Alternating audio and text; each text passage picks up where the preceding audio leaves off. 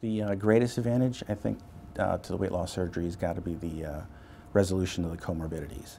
Uh, we see our patients come in with um, all sorts of medical problems, high blood pressure, diabetes, sleep apnea, and along with the weight loss, the, uh, the comorbidities also resolve.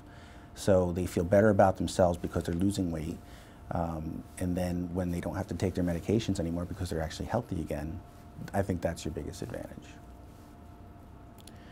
I think the impact that uh, weight loss surgery has on our patients is profound.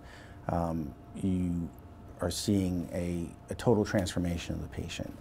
Uh, their comorbidities resolve, the weight comes off, they feel better about themselves, uh, which is really why I, I, like this field because um, they're coming to you to help help change their lives, and I think that's uh, one of the biggest um, benefits to the surgery and why I really uh, enjoy doing it.